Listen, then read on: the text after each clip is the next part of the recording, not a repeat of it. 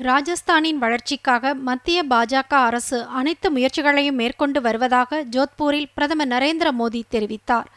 தொடர்ந்து அவர் பேசுகையில் ஊழல் கலவரங்கள் பெண்கள் மற்றும் தலித்துக்கு எதிரான வன்முறைகள் போதைப்பொருள் வியாபாரம் என குற்ற நடவடிக்கைகளில் ராஜஸ்தான் முதலிடத்தில் இருப்பதாகவும் இதனை பார்க்கும்போது வேதனையாக இருப்பதாகவும் தெரிவித்தார். வள்ளலார் என போற்றப்படும் திருவருட் பிரகாச ராமலிங்க அடிகளாரின் இருநூறாவது ஆண்டு பிறந்த தின விழா இன்று கொண்டாடப்பட்டது. இதையொட்டி நடைபெற்ற சிறப்பு நிகழ்ச்சிகள் பிரதமர் நரேந்திர மோடி காணொலி வாயிலாக பங்கேற்று வள்ளலாருக்கு புகழுரை வழங்கினார்.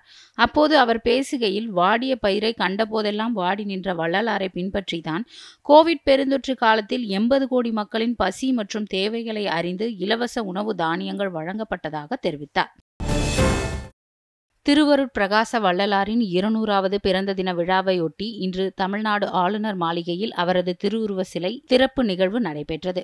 இந்நிகழ்வில் மாநில ஆளுநர் ஆர். என். ரவி பங்கேற்று வள்ளலாரின் திருவுருவ சிலையை திறந்து வைத்து உரையாற்றினார்.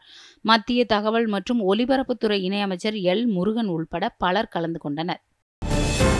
இந்தியாவில் பயங்கரவாதத்தை வேரறுப்பதில் பிரதமர் நரேந்திர மோடி தலைமையிலான அரசு உறுதியாக இருப்பதாக மத்திய உள்துறை அமைச்சர் அமித்ஷா தனது எக்ஸ்தல பதிவில் தெரிவித்துள்ளார். இதன் தொடர்ச்சியாக இன்று புதுதில்லியில் தேசிய பாதுகாப்பு முகமை நடத்தும் மூன்றாவது பயங்கரவாத எதிர்ப்பு மாநாட்டை உள்துறை அமைச்சர் அமித்ஷா தொடங்கி வைத்து உரையாற்றினார். தொழில் மற்றும் நவீன தொழில்நுட்பங்கள் துறையில் ஒத்துழைப்பை அதிகரிக்க இந்தியாவும் ஐக்கிய அரபு அமீரகமும் புரிந்துணர்வு ஒப்பந்தத்தில் கையெழுத்திட்டுள்ளன. ஐக்கிய அரபு அமீரகத்திற்கு பயணம் மேற்கொண்டுள்ள மத்திய வர்த்தக மற்றும் தொழில்துறை அமைச்சர் பியூஷ் கோயல் அபுதாபி முதலீட்டு ஆணையத்தின் நிர்வாக இயக்குநர் ஷேக் ஹமீத் பின் சையத் அல் நையானுடன் பேச்சுவார்த்தை நடத்தினார். இதையடுத்து இவர்கள் முன்னிலையில் புரிந்துணர்வு ஒப்பந்தம் கையெழுத்தானது. சத்தீஸ்கரில் இரண்டு நாள் இளைஞர் திருவிழாவை மத்திய அமைச்சர் அனுராக் சிங் தாக்கூர் தொடங்கி வைத்தார். ராய்ப்பூர் நகரில் ராவத்புரா பல்கலைக்கழக வளாகத்தில் நடைபெற்று வரும் இந்த விழாவை ஒட்டி ஓவியம் கவிதை மற்றும் பேச்சு போட்டிக்கு ஏற்பாடு செய்யப்பட்டுள்ளது. மாநில அளவிலான இந்த போட்டிகளில் வெற்றி பெறுவோர் தேசிய இளைஞர் விழாவில் பங்கேற்கும் வாய்ப்பு அளிக்கப்படும் என்று தெரிவிக்கப்பட்டுள்ளது. பிரதமரின் உஜ்வாலா திட்டத்தின் கீழ் சமையல் எரிவாயு இணைப்பை பெற்று வரும் பயனாளிகளுக்கான சிலிண்டர் மானியத்தை இருநூறு ரூபாயிலிருந்து முன்னூறு ரூபாயாக மத்திய அரசு உயர்த்தியுள்ளது. பிரதமர் நரேந்திர மோடி தலைமையில் புதுடில்லியில் நடைபெற்ற மத்திய அமைச்சரவை கூட்டத்தில் இதற்கு ஒப்புதல் அளிக்கப்பட்டது.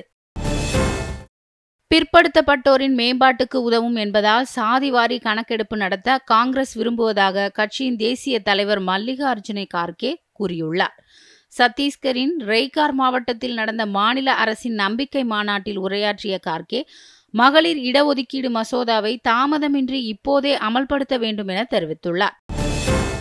பயிர் பாதிப்பு விவரங்களை கணக்கிட்டு ஹெக்டேருக்கு பதிமூன்றாயிரத்து ஐநூறு இழப்பீடு வழங்க முதலமைச்சர் மு ஸ்டாலின் உத்தரவிட்டுள்ளார்.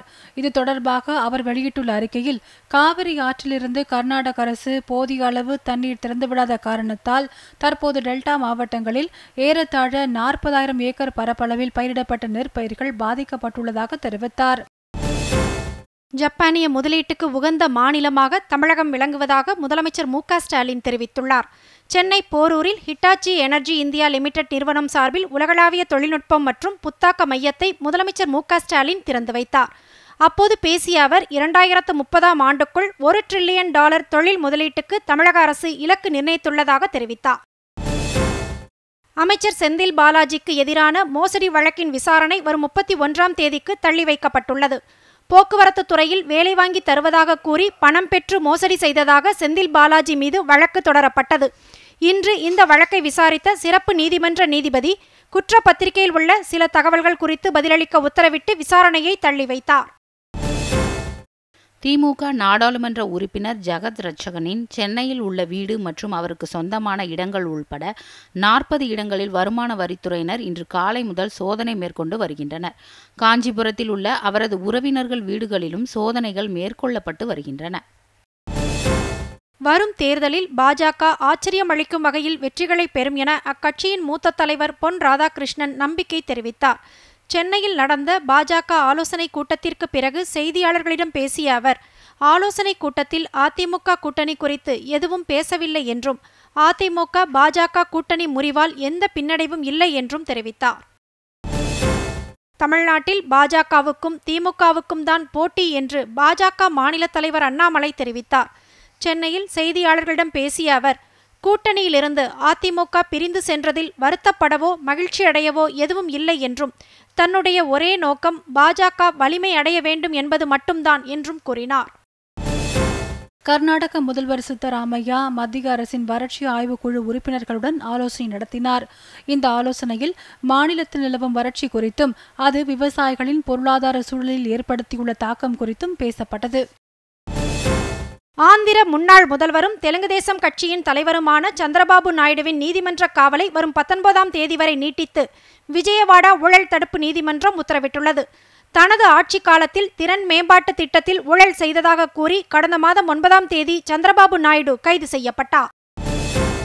கர்நாடக மாநிலம் குடகு பகுதியில் பெய்து வரும் தொடர் மழை காரணமாக கேஆர்எஸ் அணைக்கு நீர்வரத்து அதிகரித்துள்ளது. அணைக்கு நீர்வரத்து வினாடிக்கு ஒன்பதாயிரம் கன அடியை தாண்டியுள்ள நிலையில் அணையின் நீர்மட்டம் நூறு அடியை எட்டியுள்ளது. அணையிலிருந்து வினாடிக்கு ஆயிரத்து நானூற்று எண்பத்தி இரண்டு கன அடி வீதம் தண்ணீர் காவிரியில் திறந்துவிடப்பட்டுள்ளது. ஆந்திர மாநிலம் கடப்பா நகரில் உள்ள காவல் நிலையத்தில் எழுத்தராக பணியாற்றி வந்த வெங்கடேஸ்வர்லு என்பவர் தனது மனைவி மற்றும் மகளை துப்பாக்கியால் சுட்டு கொன்றுவிட்டு தானும் தற்கொலை செய்து கொண்டார். தற்கொலைக்கு முன்பு அவர் எழுதிய கடிதத்தில் தனிப்பட்ட காரணங்களுக்காக தற்கொலை செய்து கொண்டதாக குறிப்பிட்ட நிலையில் இது குறித்து காவல்துறையினர் விசாரணை நடத்தி வருகின்றனர். நாடாளுமன்றத்தில் மகளிர் இடஒதுக்கீடு மசோதா நிறைவேற்றப்பட்டு சட்டமாக்கப்பட்டுள்ள நிலையில் மத்திய பிரதேசத்தில் அரசு பணிகளில் பெண்களுக்கு முப்பத்தி ஐந்து சதவீத இடஒதுக்கீடு வழங்கப்படும் என மாநில முதலமைச்சர் சிவராஜ் சிங் சவுகான் அறிவித்துள்ளார். ஆசிரியர் பணியிடங்களில் பெண்களுக்கு ஐம்பது சதவீத இடஒதுக்கீடு அளிக்கப்படும் எனவும் அவர் தெரிவித்துள்ளார். சிக்கிம் மாநிலத்தில் மேக வெடிப்பு காரணமாக ஏற்பட்ட திடீர் வெள்ளப்பெருக்கில் சிக்கி இதுவரை பதினான்கு பேர் உயிரிழந்துள்ளனர். நூற்றி இரண்டு பேர் மாயமாகி உள்ளதாகவும் இருபத்தி ஆறு பேர் படுகாயங்களுடன் மீட்கப்பட்டுள்ளதாகவும் தெரிவிக்கப்பட்டுள்ளது. இருபத்தி இரண்டாயிரம் பேர் இந்த வெள்ளத்தால் பாதிக்கப்பட்டுள்ளதாகவும் இரண்டாயிரம் பேர் பாதுகாப்பான இடங்களுக்கு மாற்றப்பட்டுள்ளதாகவும் மாநில பேரிடர் மேலாண்மை நிர்வாகம் அறிவித்துள்ளது. அமெரிக்காவின் அலாஸ்காவில் இந்திய அமெரிக்க ராணுவ படைகளின் கூட்டு பயிற்சி நடைபெறுகிறது. இந்த பயிற்சியின் போது ராணுவ விமானங்களில் இருந்து குதித்து ராணுவ வீரர்கள் பாராஜம்ப் பயிற்சியில் ஈடுபட்டனர். தெற்கு ஜப்பானின் டோரிஷிமா தீவுக்கு அருகே உள்ளூர் நேரப்படி இன்று காலை பதினோரு மணி அளவில் சக்தி வாய்ந்த நிலநடுக்கம் ஏற்பட்டது. டோக்கியோவிற்கு தெற்கே ஐநூற்று ஐம்பது கிலோமீட்டர் தொலைவில் பசிபிக் பெருங்கடலில் ஏற்பட்ட இந்த நிலநடுக்கம் ரிக்டர் அளவுகோலில் ஆறு புள்ளி ஆறாக பதிவாகியுள்ளது. இதையடுத்து அங்கு சுனாமி எச்சரிக்கை விடுக்கப்பட்டுள்ளது. இங்கிலாந்து நியூசிலாந்து அணிகள் மோதும் உலகக்கோப்பை போட்டியின் முதல் ஆட்டம் அகமதாபாத்தில் இன்று தொடங்கியது. முதலில் ஆடிய இங்கிலாந்து அணி நிர்ணயிக்கப்பட்ட ஐம்பது ஓவர்களில் ஒன்பது விக்கெட் இழப்பிற்கு இருநூற்று எண்பத்தி இரண்டு ரன்களை எடுத்தது.